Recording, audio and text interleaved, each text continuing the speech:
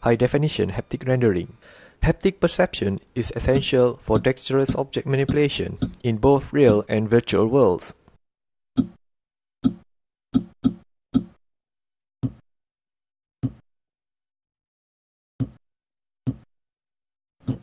From the feedback force, human perceives many things, such as shapes, dynamics, and materials. Conventional haptic rendering requires high-frequency simulation, around 1 kHz for stable control.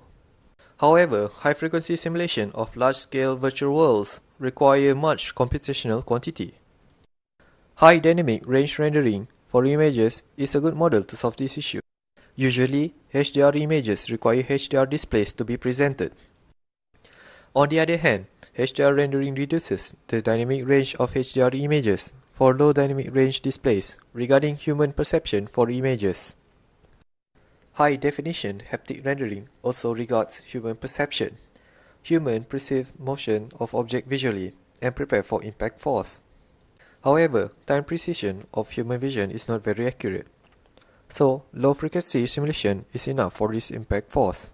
On the other hand, human perceives dynamics and shapes of objects from the relations between applied forces and motions via haptic sensors. Haptic sensors require smoothness and high frequency update. So, we apply high frequency haptic rendering for this.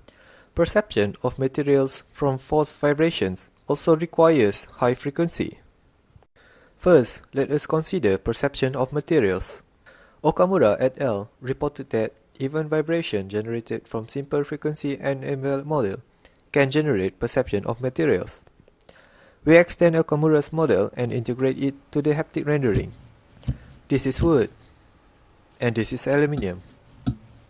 This video records the sound emitted from the haptic interface.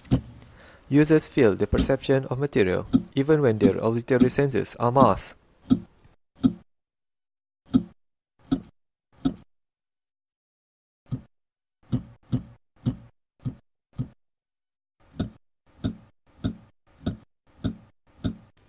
Humans perceive dynamics of objects from the relation between applied forces and motion of objects. Presentation of this relation requires high-frequency update and consideration to effects of all objects that are in contact with the objects touched by hands. So, we propose to approximate the relation between forces and motion into a linear model. Without the linear model, the consistency between local and global site is lost. With the linear model, all motions of objects are neat. As a result of low frequency update of global simulation, haptic interaction with lots of objects is realized.